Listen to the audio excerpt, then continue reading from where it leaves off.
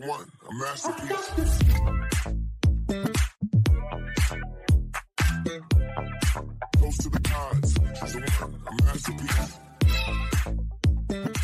Hi, everyone. So I'm a tech deal maker and founder sparring partner. So I've been a banker for the last 14 years, advising mostly tech entrepreneurs on really their growth journey towards their exit. So to give you some example, you've had EcoVadis, Intercloud, Weglot, Fox Intelligence, really to name a few. I've been very lucky um, over the last basically 10 years uh, to be living hyper growth story from the inside, working for Criteo and Believe, both on their external growth and financing strategy, which usually include debt, IPO, equity. Uh, and those solutions obviously have been very relevant in multiple growth stories we've been seeing. What has been driving my interest over the last decade is really eagerness to learn new models, aggregate different visions, and seeing how tech can really transform the day to day life of professionals and consumers.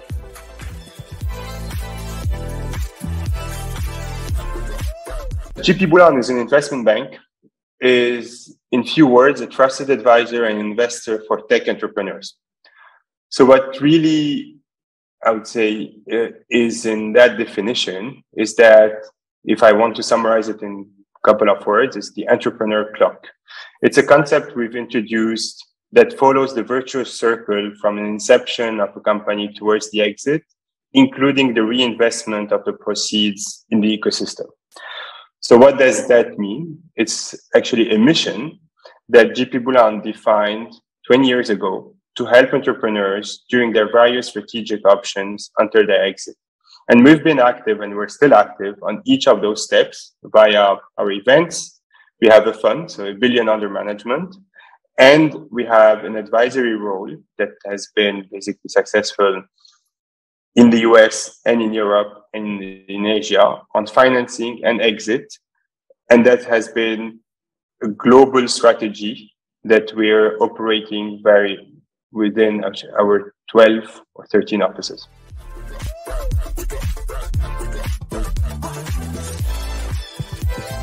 If I want to summarize it, is ultimate neutral and trustworthy sparring partner. What does that mean? Having been on both sides of the discussion, within the company and outside, I formed a clear view on the importance of that relationship.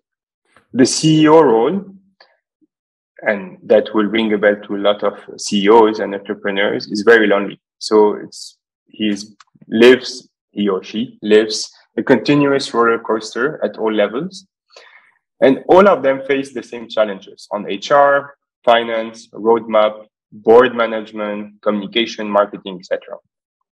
The role of the advisor is to be the go-to person on all aspects and not only a facilitator for some specific milestones. And that is really done successfully if we can do it in a neutral and trustworthy way. And those are the main attributes from my perspective for a long lasting relationship with CEOs.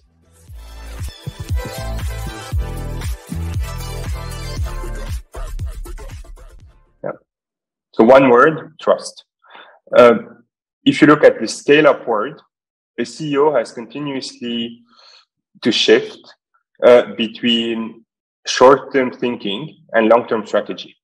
Uh, what does that mean? In a way, is that when you look at long-term thinking, you need to anticipate. You need to think about clear milestones of funding, how your market is changing, how competition is being established, what are the liquidity events that you owe to your shareholders, how's the hiring or how's the vision being renewed? And for that you need an advisor that not only comes at specific moment when you call that advisor but you need an advisor that creates value and feeds the top management and the ceo continuously with new ideas. And again that role or our role is not simply to execute ideas that are coming from the board, so top-down ideas, but also to participate actively to the chain of thought and being able to learn from various examples and then bring the right solution at the right time.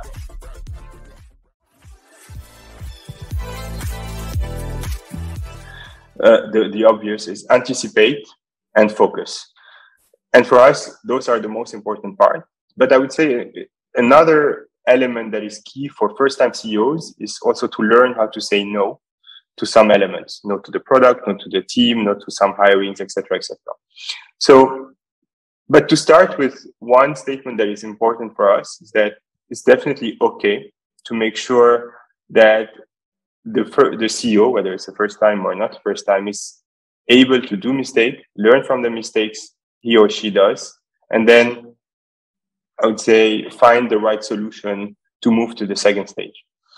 Having said that, every mistake or every failure delays a little bit the roadmap.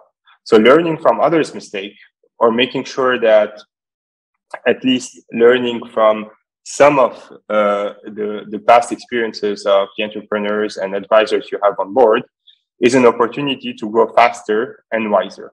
First time CEOs, I would say in, in, in usually tend to be less risk takers, but at the same time have a steep learning curve they need to evolve on. Hence, the role of an advisor is to participate to the education of those CEOs, help them anticipate, prepare the major milestones of a company that is that, that are usually tied to funding strategy board, but also product roadmap, hiring key people. And you know, by anticipating, you need also to focus on the key element that would drive your strategy uh, without going after basically multiple projects. And to put things into perspective, everyone speaks about short-term growth, capital efficiency that needs to be improved on a quarterly basis. I think there is one important part is that that anticipation has to be linked to the fact that liquidity events, fundraising, hiring, commercial partnerships, new product features usually take up to two years to be live. And for that perspective, when you say anticipating, is also preparing the next phase while being drawn into the short term key objectives or key milestones the CEO needs to tackle.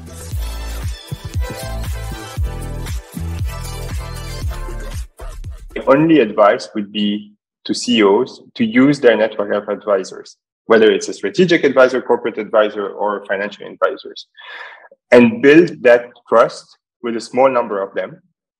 And with that, an advisor becomes a key player of a company's journey. And we've lived there with uh, and and that experience with several companies to really witness how strong that relationship can bring value to the rest of of the shareholders, but also for the company. And an advisor brings, in a way, a network of investors, buyers, partners, entrepreneurs, but also a broad experience of having seen various business models and success stories across different geographies.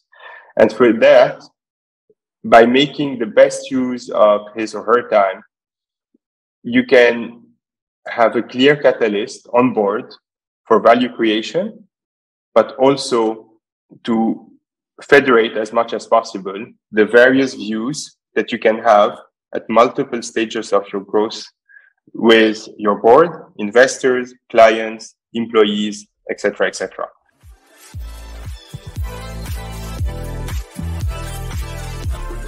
In Montpellier on June 9th and 10th to speak about fundraising and M&A strategy and meet several founders passionate about that.